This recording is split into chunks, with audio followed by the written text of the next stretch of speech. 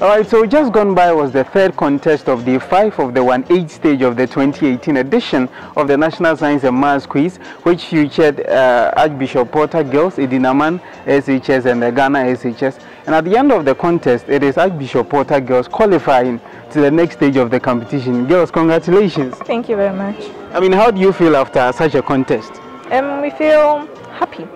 Mm. Yes, that we were able to contest, um, contest and come out the winners. We are grateful that we were able to um, qualify to the quarterfinals and make it easier for our successors to actually move on in the quiz.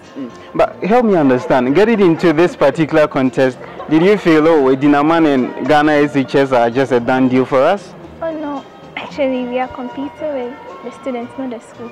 So you can't say that like maybe you are a first class school, they are low class school, so maybe you are better than them. You know, because we are competing with the students and maybe they have um, a potential of doing well more than us. So you have to prepare as if you are going to meet higher schools.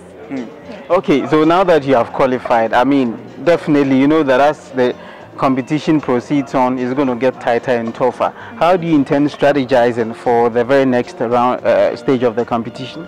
Um, more work, less sleep. That's just what we plan to do so far. So can Archbishop Porter girls win this year's competition? Definitely. Yes. Anyway, any message to your students? Are you enjoying any support from them so far? Yes, yes, we are. You don't have any message for them? Yeah, we are just urging them to keep on supporting us. Maybe anyway, uh, I guess we would end with uh, your school anthem.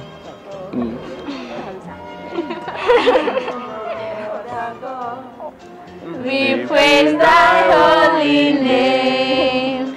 Bless our noble school, Archbishop Girls.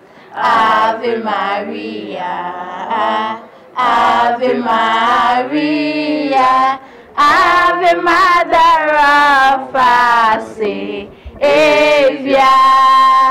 Pray for us, pray for us, pray for the founding fathers. Pray for us, pray for us, pray for the staff and students.